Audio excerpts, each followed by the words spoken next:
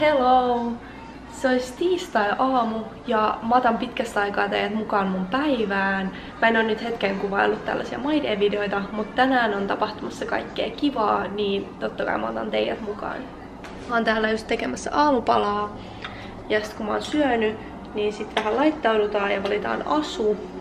Tuolla on tänään joku 23 astetta puolipilvistä.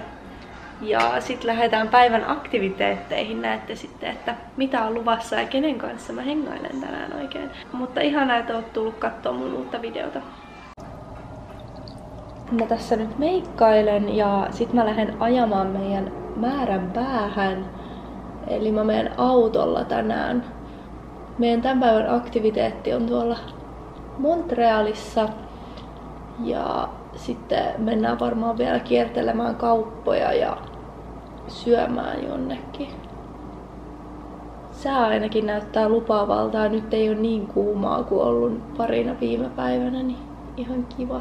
Mulla on sitten tänään illalla vielä treenit, ne alkaa kuudelta, mutta ne on onneksi tässä mun asuinalueella, niin sitten ei mene kauaa mennä sinne.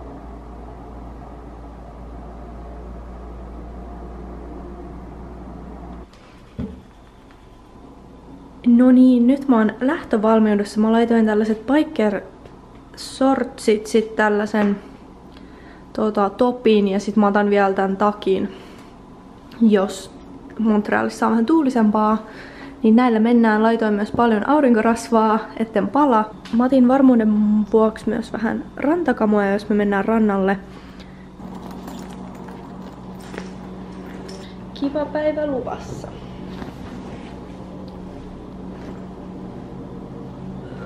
Noin.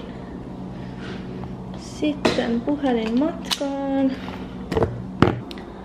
Ja sit menoksi. Nyt on Montrealiin saavuttu.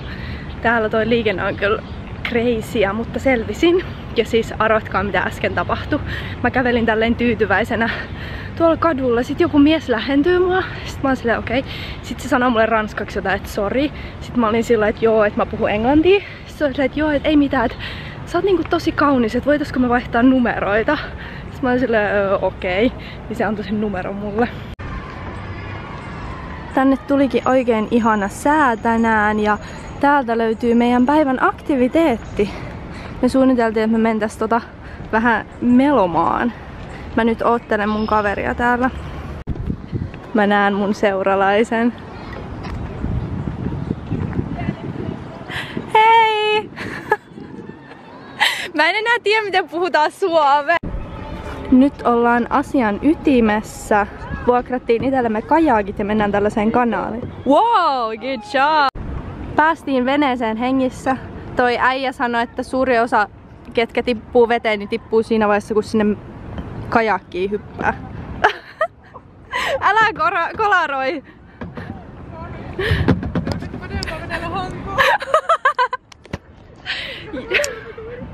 ja Hanko on edessä päin. Mä tarttisin jonkun henkilön kuvaamaan tätä showta. Nonni. Voin kuvaa jossain vaiheessa Joo.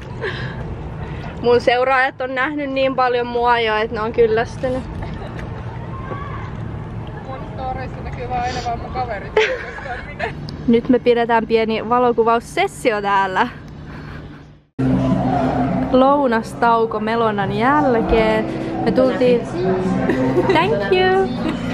Me tultiin tänne Basic-ravintolaan, mihin mä aina tuon mun vanhemmatkin. Mun kämppis oli se Eilin, että voitko lopettaa tuon se niinku tottu siihen mä kuvaan kaiken. Joo.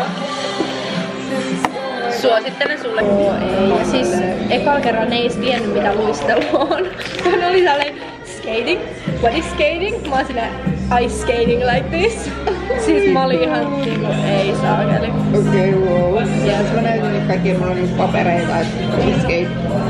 Joo. Siinä oli joku nuori mies tälle, ei, sä et voi tulla tänne. Mä olin silleen, okei, okay, lähdekö mä Suomeen? Se oli ihan Mä tulin Lululemonille sovittaa yhtä tällaista toppia.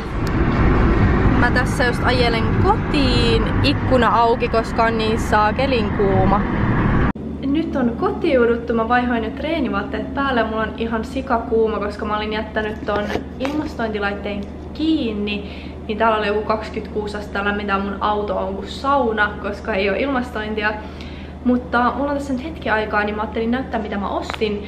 Ei siis menty shoppailemaan, käytiin vaan parissa kaupassa sen jälkeen kun oltiin käyty syömässä. Eka juttu mä tarviin tänä perjantaina, koska täällä on Canada Day, niin meidän pitää pukeutua treeneistä punaiseen ja mulla ei ole mitään punasta. Niin mä halusin laittaa tällaisen hienon Canada teepaidan. Mulla olisi yksi punainen teepaita, mutta mä en viiti. Niin ostin sitten tällaisen Kanada-teemaisen teepparin, niin laitan tän sitten perjantaina. Sitten käytiin nopeasti Brandy Melvillessä ja sieltä... Kuitit tulee alas. Sieltä mä ostin tällaisen perusvalkoisen topin, koska mä ostin aiemmin tänä kesänä valkoisen topin.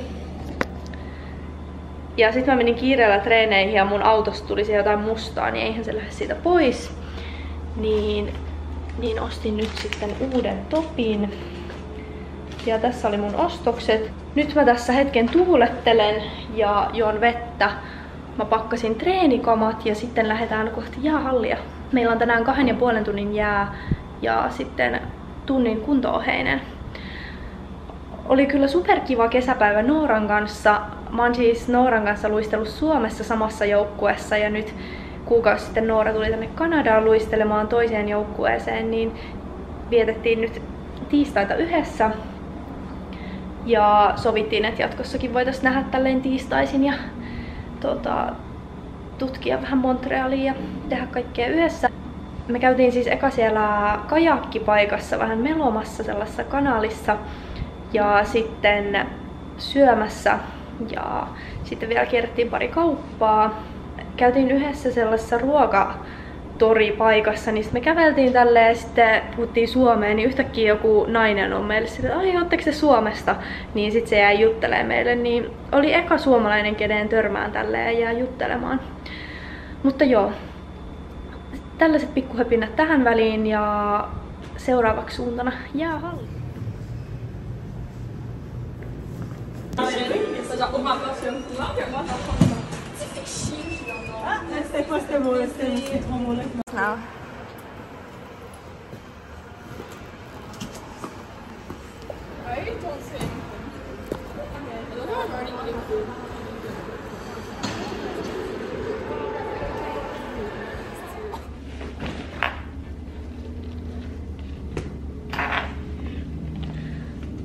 Mä tulin just treeneistä kotiin. Treenit meni nopeasti ja kello on nyt varti yli kymmenen. Niin mä ajattelin mennä suihkuun ja tehdä sit jotain iltapalasta. Nyt täällä on ihana viileä, kun toi on ollut päällä, niin täällä on vaan parikymmentä astetta. Best. Se olisi iltapalan aikaa. Mä ajattelin tänään tehdä beigelin iltapalas, koska beigelit on iso juttu Kanadassa ja mä ostin ekaa kertaa näitä. Mä oon siis syönyt näitä tota, ulkona, kun on käynyt, mutta en oo ostanut kotiin. Niin mä paistan siihen kananmunan. Mulla on nykyään sellainen kätevä taktiikka, että mä ostan kaupasta niinku vaikka paprikaa ja punasipulia. Ja sitten kun sitä sipulia jää aina yli, niin mä pilkon sen rasiaan. Niin nyt mä saan otettua sitä sitten kätevästi tuolta kaapista. Nimittäin kattokaa. Täällä on nyt paprikan ja punasipulin jämät, niin ne säilyy ihan superhyvin tällaisessa rasiassa. Sitten tuorejuustoa. Ja mä laitan vielä normijuustoa, koska mä en ole nyt syönyt muutamaan tuntiin.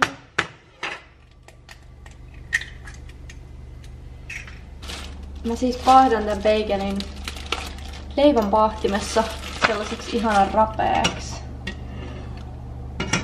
Niin siitä tulee superhyvä. Mä kävin eilen myös kaupassa, niin ostin sieltä tällaisen söpön laatikollisen nektariineja. Ne on niin hyviä tällä hetkellä, joten mä otan myös yhden tällaisen. Mä voisin katsoa vähän jotain ohjelmaa. Mä ostin sellaisen kanadalaisen suoratoistopalvelun, niin Sieltä näkyy Jenkkien Love Islandia ja kaikkea mahdollista, niin, niin jotain täytyy katsoa. Bagel on nyt paahdettu. Sitten laitetaan siihen vähän Philadelphiaa.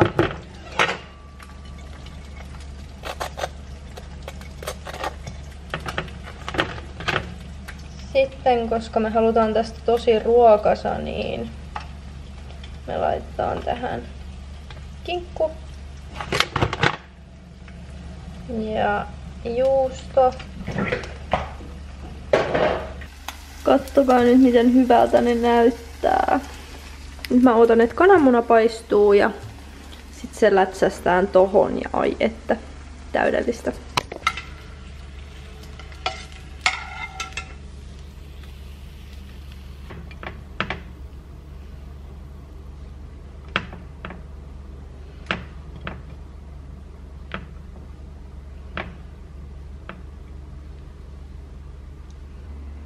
Iltapala on valmis. Ei mennyt kauaa, joku seitsemän minuuttia, joten nyt mä syön tän ja vähän rentoudutaan, niin sitten tulee uni.